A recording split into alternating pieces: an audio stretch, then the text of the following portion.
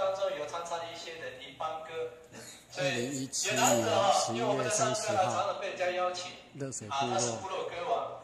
那我们接腰山用电呢，很奇特啊、三哥是部落歌王，大哥是猎王。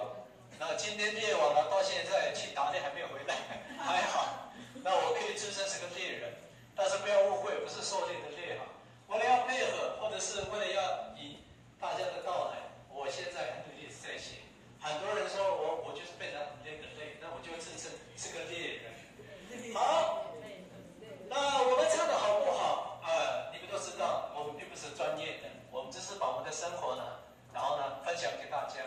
那你看到这个乐器，刚刚有一个妹妹啊，哇！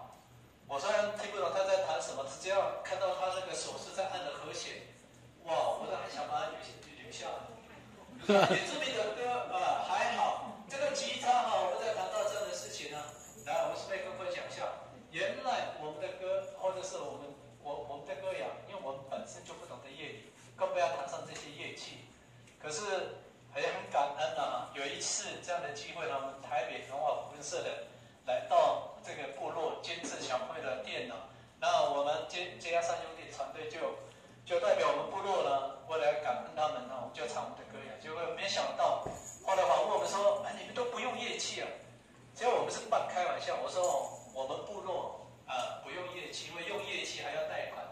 突然间这么一一一说，很感人。现在一下子就建出那么多的乐器，不接哦，稍微对我来讲有点压力啊。一接的时候到现在还在摸，摸到之后还是 A 麦对我们比较熟。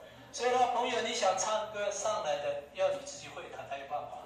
啊，那接下来呢，我们呢有难得机会哈，三哥啊，这个六十八年，呃，三十八年以前呢，实际上他是五度之星呐、然后民国六十七年，他是五度之星，然后呢，六十八年参加过全省原住民歌唱大赛。那基本上名列前茅，其实还是要看后台。那你听他的歌，会不会应该是名列前茅的一个一个机会，对不对？可是因为这很多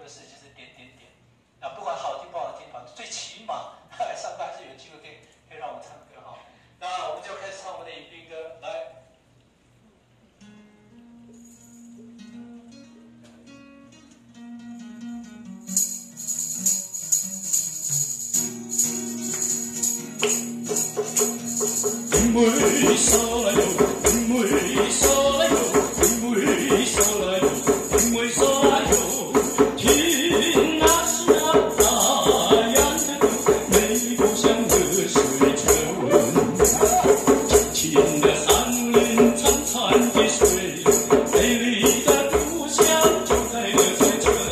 山上的人们愉快的唱歌，歌声叫。